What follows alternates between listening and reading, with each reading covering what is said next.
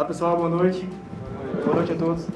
É, a princípio, antes de iniciar brevemente o tema, quis trazer esse tema porque o nosso curso se ouve muito se falar em desenvolvimento, área muito conhecida, e pouco se ouve se falar em governança, né?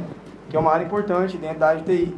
Então, para a gente poder entender melhor o tema, é, visto que a gente não temos muito tempo para aprendizado, mas para despertar um certo, uma certa curiosidade né, em vocês. Eu dividi em três momentos essa, essa apresentação, essa palestra. Primeiro momento, nós vamos entender um pouco como é que é o cenário de governança, vocês vão conseguir linkar o que está acontecendo no, no Brasil e no mundo, questão de governança, a importância da governança. Eu vou linkar também a parte de governança de TI e no final fazer a junção das duas, porque o que, qual relação tem uma com a outra e qual, qual a atuação do profissional na área. Né? E um segundo momento, eu vou falar da experiência da implantação que eu estou tendo numa das empresas que eu trabalho, da implantação dessa governança de TI. E um último momento, vou mostrar para vocês como é que está o cenário, o cenário é, no nosso mercado, o que nós temos de mercado, as áreas de atuações, bem como os salários, né? Que não é muitas pessoas vão pelo salário, mas é um, nós entendemos mais ou menos como é que está nossa área, o que nós temos para poder trabalhar. Então vamos lá, pessoal. É, governança corporativa. Começar falando disso. Então essa imagem vocês podem ver, tem vários jogos. Assim como esses jogos são regidos por regras. Da mesma maneira funciona a governança corporativa. São regras dentro do negócio, o negócio é estabelecido dentro dessas regras para manter um certo padrão e transparência. Vamos entender mais para frente o que é governança, a importância dela. Antes de começar, eu vou falar um pouco para vocês da história da governança. Né? A história da, da, da, governança corporativa. Começou a surgir na década de 70. Né?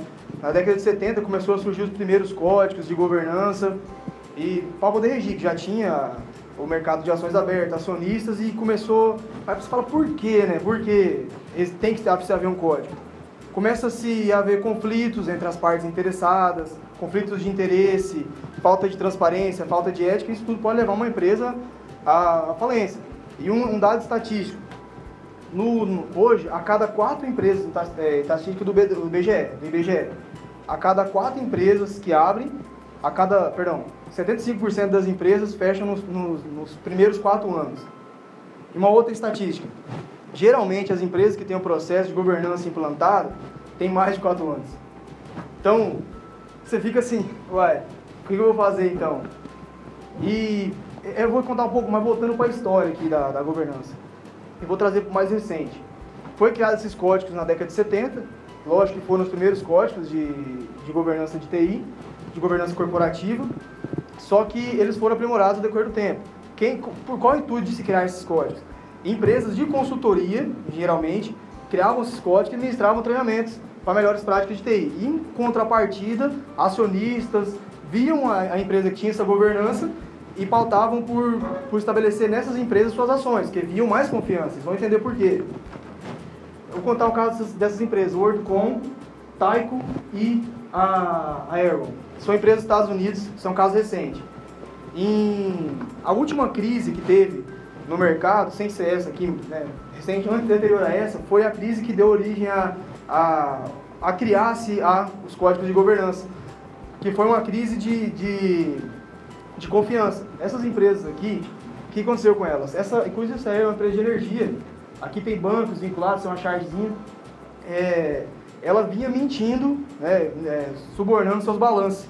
Então, era a quarta maior empresa dos, dos Estados Unidos, tinha vários acionistas, como deve se esperar, a empresa ia super bem, e quando em 2001, novembro de 2001, a empresa perde concordata, com a dívida de 74 bilhões. Do nada, assim. Da empresa que ia bem, do nada perde concordata. Por isso aconteceu com o caso da Ergo. E das outras empresas também. Tudo na mesma época, tá, pessoal? Tudo na mesma época, foi em dois, no final, no final de 2001 e as outras no, no início de 2002. Quando criou isso, criou um abalo. Vocês têm noção, mas que isso vai influenciar aqui no Brasil? Eu sou brasileiro, só mexo com ações brasileiras. Alguém, que, alguém aqui investe em ações? Alguém que investe em ações? Jorge, né?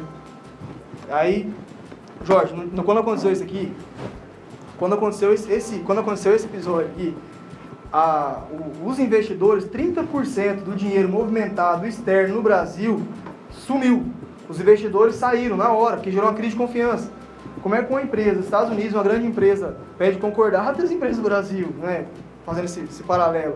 Então, nesse momento, refletindo no cenário mundial, se falar aqui no Brasil, vocês entenderem, mas gerou uma crise, gerou uma crise, uma crise global de confiança. Porque como é que eu vou confiar nas ações que eu tenho? Está indo bem do nada. E literalmente, perderam, é dinheiro perdido. Né? Vamos dar sequência. Depois desse caso, um, um deputado e um outro camarada, que é especialista em administração, formaram, é, articularam essa, essa, essa lei, que é Sarbanes-Oxley. É um artigo que ela rege vários princípios da governança corporativa. Então, foi se reformulado que já havia implementado novas novos itens, novos códigos para prever isso acontecia. E, consequentemente, isso foi uma estratégia para poder voltar é, as ações, enfim. E aí, aqui eu coloquei os os, agora vou começar a entrar na governança de TI. Os itens que inferem diretamente a nossa área. Os itens dessa lei que inferem diretamente a nossa área. Então, algum deles. As informações sobre as operações passadas devem ficar disponíveis por um período de 5 anos, a fim de auditoria. A TI garante isso. As informações guardadas seguramente acessíveis pelo menos há 5 anos. Outro ponto. As informações registradas devem estar disponíveis sempre que necessárias pessoas cujo, cujo acesso é legítimo então, garantir o acesso e controle de acesso às informações. Né? Todos podem ter acesso às informações. As informações não devem ser acessadas por pessoas que não possuem direito de acesso legítimo. Né? E o último, último caso que eu queria comentar. Os dados informados devem ser atualizados e corretos. Isso aqui é muito importante. Vamos entender uma empresa. Nem todas as pessoas que, que são envolvidas na empresa atuam diretamente na empresa. Uma, uma empresa que passa, que passa de um, vamos pegar uma empresa, uma empresa familiar uma das empresas que eu trabalho está passando por esse processo. Era uma empresa familiar e está transitando por um processo de governança. Todos os, os, os donos que eram da família, três, três irmãos, tiveram que abrir uma empresa, porque agora não é mais eles que, que têm ações, é a empresa deles que tem ações na, nessa empresa. Então, mas só que nem todos eles trabalham lá dentro. Então, nem todos eles sabem do operacional, do que acontece, um erro. Então, a pessoa que está gerindo lá o processo, ele tem que conhecer o TI, ele tem que conhecer todos os processos da empresa, tem que saber como é que funciona e tem que garantir a integridade desses dados. Então, é de função dele saber se está trabalhando certo, se não está, corrigir, porque o cara que chega lá, quando ele vai procurar os resultados, se ele vê alguma coisa errada, ele vai tomar a decisão errada. Então, ele, ele se baseia nos dados obtidos. Vai pegar os dados e a partir daí ele vai, tomar, vai partir a tomar a decisão. Aqui no Brasil, é, em 2000, não, em 95 foi criado o Instituto, é, Instituto Brasileiro de Governança Corporativa, que é um instituto dentro do Brasil, tudo instituto, que rege, que rege a, a governança corporativa, códigos e, e adere à América Latina e uns países arredores. Aqui já falei que a parte de governança, que envolve, cria envolvimento em geral, a governança ela, ela gere os stakeholders. Nós chamamos que são as partes interessadas. Os stakeholders são as partes interessadas no negócio, acionistas, é, trabalhadores diretos, todas as partes interessadas no negócio. O Brasil aderiu a um outro acordo, chamado Acordo da Basileia. Isso é um, um mapa global dos países que está pintadinho aí. São, esses países aqui são os países que aderiram a esse acordo. Nesse acordo também tinha, tem regimentos que regem a governança corporativa. Pessoal, estou explicando isso tudo gente poder entender o cenário de negócio. E muitas empresas, eu fiz uma, uma pesquisa na revista Exame, muitas empresas estão migrando do sistema familiar para o sistema de governança. Vai por quê? Porque está se passando uma geração. Então, é, no caso dessa empresa mesmo que eu trabalho, é, era três irmãos. E um irmão está passando já para o filho, aí ficou o filho e o tio, né, no caso. Então, é gerações diferentes, há conflitos de interesse, há diferentes visões de gestão. Isso cria-se um, um certo um certo descontrole na organização e pode levar a organização à falência, dependendo das tomadas de decisões, se não for bem tomadas. Por isso, todo o princípio de governança corporativa. Isso no cenário micro, nós entendemos. Pensando no cenário macro, como é que vamos gerir, por exemplo, como é que, como é que o Eike Batista ia gerir as empresas dele sem o modelo de governança? Lá não teve governança, vamos chegar lá ainda também. As empresas acionistas do Brasil. Aqui são os pilares da, da governança. Aqui que nós entramos. Então, os pilares da governança: gestão, Auditoria, TI. Gestão garante a gerência dos processos estabelecidos dentro da empresa.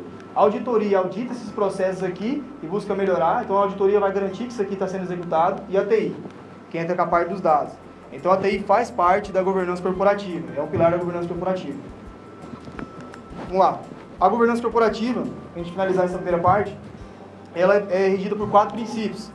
São eles: transparência, então toda tomada de decisão, os dados informados têm que estar disponíveis de maneira clara e transparente para as pessoas interessadas. Equidade. Isso aqui, pessoal, é igualdade. Isso aqui é igualdade, isso aqui é equidade. Essa é a diferença. Então, o acesso às informações de, das pessoas interessadas tem que ser maneira igualitária. Então, elas têm que ter acesso da mesma forma, igual está a figura ali. Igualdade é diferente de equidade. Esse é o princípio da equidade, que é um princípio da governança corporativa. Prestação de contas. Então, eu vou sempre falar aqui na parte teórica e trazer a parte prática. Existem as reuniões que são formalizadas de acordo com o modelo que a empresa aderiu, e nessas reuniões leva-se os dados obtidos e daí parte de tomar decisão. Então, olha, esse, esse, geralmente as empresas, em grande parte, depende do negócio. Nosso negócio, as tomadas de decisões são feitas anualmente. Então, normalmente, estão uma reunião estratégica, geralmente no começo do ano ou no final, e fala-se isso. O que nós vamos tomar para esse ano, né, que está se iniciando, o que nós vamos tomar para esse ano, quais são as estratégias, quais são os objetivos, como é que vão fazer, quem vai garantir, quem vai acompanhar, e dali toma essa decisão que rege o ano inteiro. E no final, pauta de novo essa reunião, e no meio dos meios tem as reuniões. Tem pessoas ali que não atuam na empresa, elas só vão lá para dar palpite no conselho, para cobrar, falar, oxe, tem ações aí, está indo mal aqui, por que a venda caiu aqui? O cenário do mercado está ruim, então essas pessoas que participam, imagina você, você tem ações da empresa, você tem seu dinheiro lá, seu dinheiro está aplicado, você quer saber se seu dinheiro está rendendo, se está perdendo, se está ganhando, está deixando de ganhar.